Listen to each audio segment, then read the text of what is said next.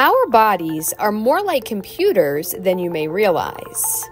Computers and other electronic devices like cell phones function by following a set of instructions called code. Computer engineers write code to tell devices exactly what to do and how to respond and behave. Our bodies follow a set of code as well.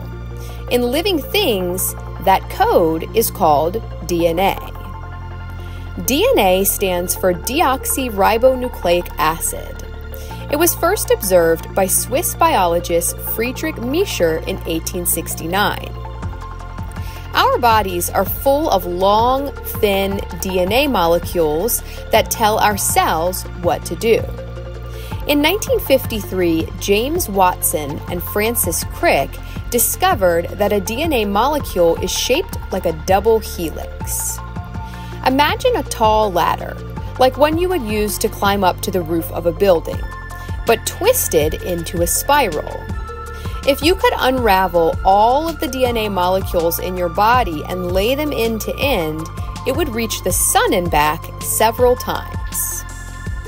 DNA molecules are made of nucleotides that stretch between a spiraling backbone like the rungs on a ladder. There are four different types of nucleotides adenine, thymine, cytosine, and guanine. These nucleotides are represented by their first letters A, T, C, and G. A person's DNA code can be written out using different combinations of these letters. There are only four letters, but there are billions of possible code combinations. A long strand of these coded instructions is called a gene. Genes tell cells how to make proteins.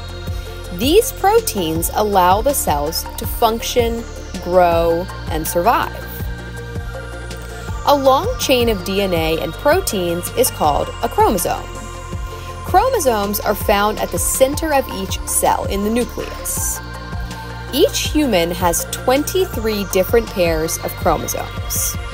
Our chromosomes are inherited from our parents. They determine genetic traits such as hair color, eye color, height, and even whether you are a boy or a girl. DNA is what makes us who we are. Although there are billions of different DNA code combinations, humans share 99.9% of their DNA with all other humans on Earth. We are only different from one another by 0.1%. But that is enough to make us all one of a kind. This video was created by LaFountaine of Knowledge.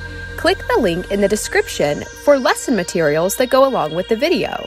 And subscribe to my channel for more videos like this.